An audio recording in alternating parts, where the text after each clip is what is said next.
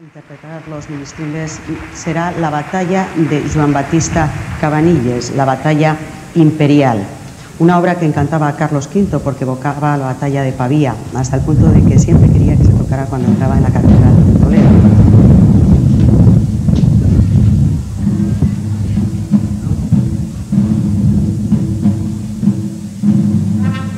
En su origen fue compuesta para ser interpretada en órgano y ha tenido que ser el director Daniel Alberola el que haga, realice esta partitura para percusión e instrumentos de viento metal.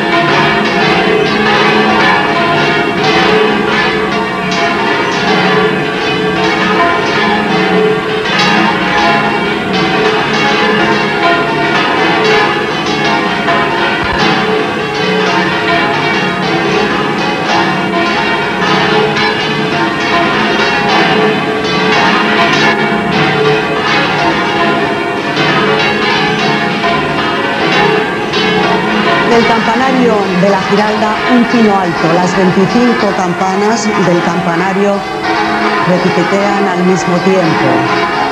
De esta forma se pone fin al concierto que han interpretado los ministros.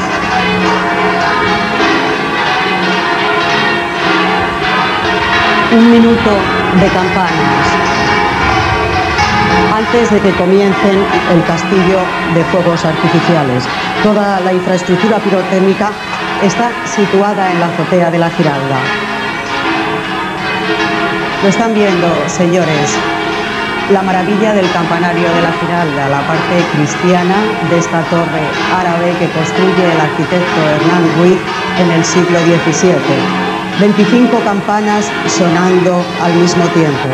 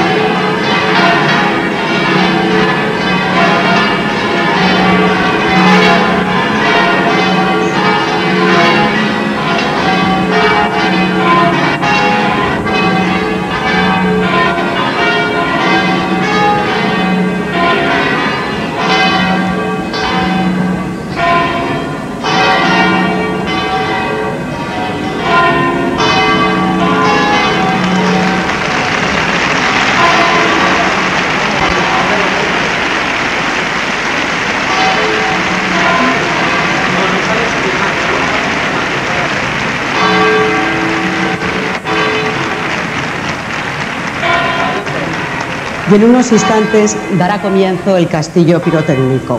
Toda la infraestructura pirotécnica está situada en la azotea de la catedral con un total de 500 inflamadores eléctricos y 7.000 metros de cable.